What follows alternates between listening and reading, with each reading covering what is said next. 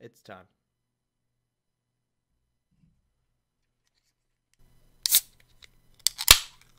Alrighty, guys, before we get started on today's video, I just wanted to thank you all for 100 subs. Uh, we hit that over the weekend, and I, again, thank you all of you for sticking around. I just find it crazy that there are 100 people out there, more than 100 people now, um, that really enjoy the videos that I make, and I will continue to make them for you guys. I'm really enjoying this new style of content. So, with that super insignificant announcement out of the way, I just wanted to kind of do a recap over the last season of Rainbow Six Siege with Phantom Sight. Ember Rise is quickly approaching, and I've done a fair bit to change up the way that I play Siege, and I just kind of wanted to go over my perspective in that regard.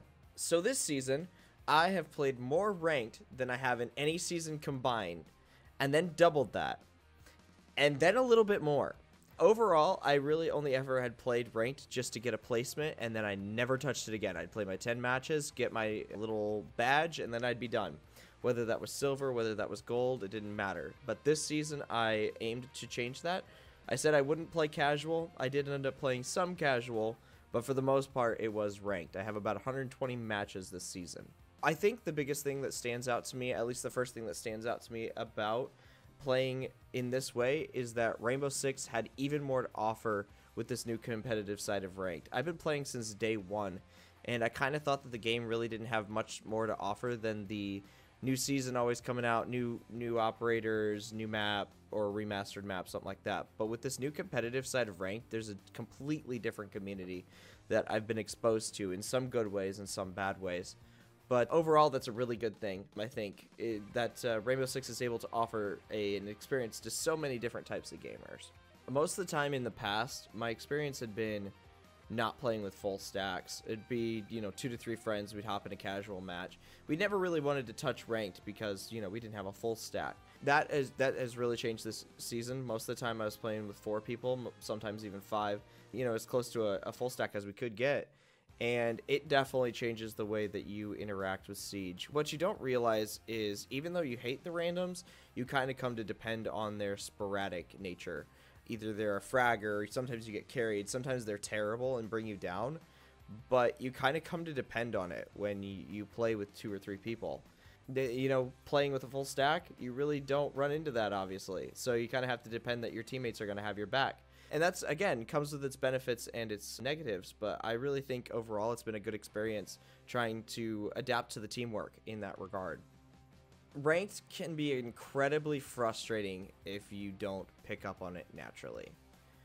Over this season i started at a gold 2 with an overall kd of 1.1 i think and I have watched my stats slowly crawl downward as I learn how to actually approach gunfights and how to attack and defend objectives.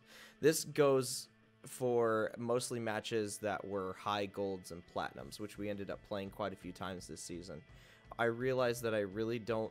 I, I'm working on it. I'm getting there, but I, right now I don't match that level of skill. I have teammates that do. You know, they get they have the fragging potential, and I don't play a fragging role either but I definitely can tell that there was this side of Rainbow Six that I was not exposed to, and it's really showing on my statistics. And this is more of a personal thing, but I really didn't expect ranked to bring out something that I needed to take care of in my own life.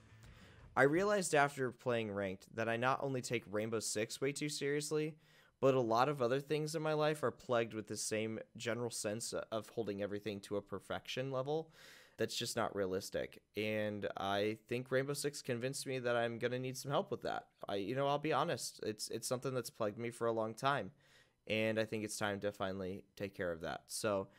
I really didn't expect it to come from playing ranked with friends and starting a team and all that to bring out something like, oh shit, I might need to actually go get therapy for that. So that's kind of an interesting personal take from this season. I think overall, ranked has pushed me in ways that I really didn't expect, and I'm really grateful for it. It has finally pushed me into practicing something even when it's hard, which I've struggled with my whole life. If I wasn't a prodigy, then I wasn't doing something right. That's always how I've looked at practicing. You know, that goes for guitar, that goes for piano, that goes for choir, even my individual singing. You know, if I wasn't a prodigy, then I'm just going to give it up.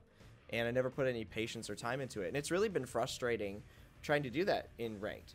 But it's been a really good experience, and I've convinced myself, no, this is where that stops.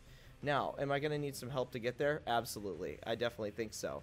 But overall, I'm super excited to see what happens next season, you know, uh, when everything starts to kind of click into place like it's supposed to.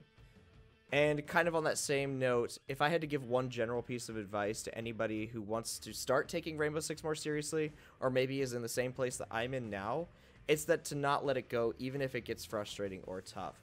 You're going to have rough days while you're learning, but slowly you will watch your stats head back up as the things you practice begin to click, and it's going to take hours. It's going to take time. Um, I, every single person I know that is actually good at the game, not like a gunner, not a ranked gunner or whatever, anybody who's actually good at the game will tell you there is nothing like putting hours.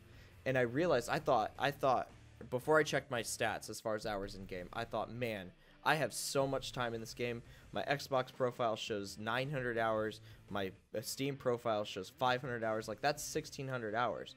But when you actually look at the amount of time that you spent in game compared to some of the people who are really good at this game, I've spent very very little.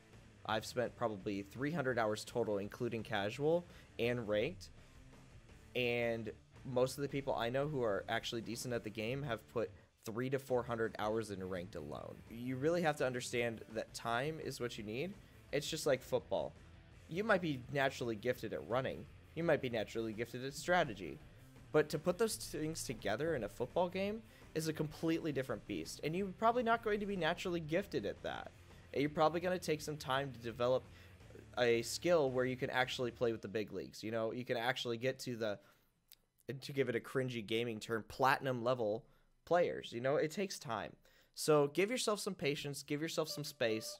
And that's what I'm working on right now. And you just got to stick with it and see it to the end. Besides that, I want to thank you guys for watching, and I'll see you guys next time.